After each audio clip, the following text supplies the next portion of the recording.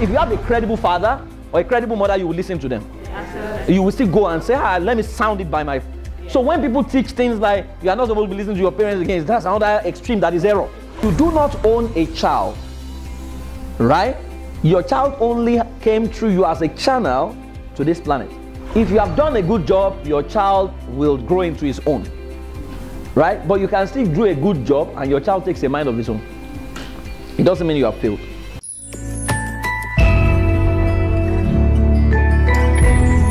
A disciplined child can think, challenge concepts, and innovate. This guy uses other people's thoughts to survive.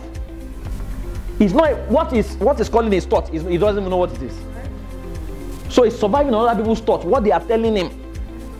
Right? So he doesn't have a mind of his own. He's not challenging it. So they told him 2 a.m. is when witches gather, he believes. And he begins to promote it too. If you have a credible father or a credible mother, you will listen to them. You will still go and say, ah, let me sound it by my. So when people teach things like you are not supposed to be listening to your parents again, that's another extreme that is error. If my father was Obama, uh, well, my father was Bill Gates, and I'm starting a business, and I'm 40, who else will I listen to? You do not own a child, right? Your child only came through you as a channel to this planet. Because many of us behave as if we own these children. Um, so when the child grows older and he doesn't want to have anything to do with you, you think you have failed. You think the years have gotten you. No, your child has a mind of his own, has a life of his own, right? Honestly, if you have done a good job, your child will grow into his own, right? But you can still do a good job and your child takes a mind of his own. It doesn't mean you have failed. The most important skill in about parenting are observation. That I believe observation, oftentimes, people who have not mastered the natural want to master the supernatural. And I think that's the biggest problem we have. That we have not learned how to be human beings.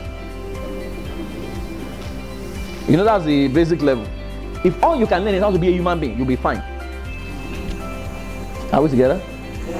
So we have not learned how to be human because there are things human beings do that we are not doing yet. So we have not perfected how to be, and look at the word human being, not human doing. So it's being. So we have not mastered how to be, but we are doing.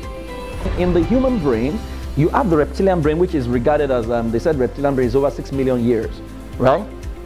That's the part of the brain that is dependent on, uh, all it tries to do is to avoid death, um, avoid what is injurious to you, to you. Then you have the limbic system. Limbic system basically is responsible for your emotion. Its own thing is to think about um, pain and pleasure.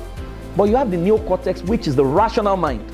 That's the part that can think, that can question, that can say, why should I need to do this? Which is what your children are using perfectly that you are trying to kill now. So why would you talk to me? He's asking, human beings, neocortex. I'm rational, I'm okay.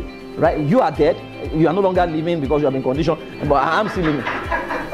What you are trying to do is to kill the child. Once curiosity is taken out of a child, you have done a successful job in taming him. As a matter of fact, ferocious curiosity. That's why children keep asking you, what is this? Why? Why? Why? Why? But that why is upsetting you.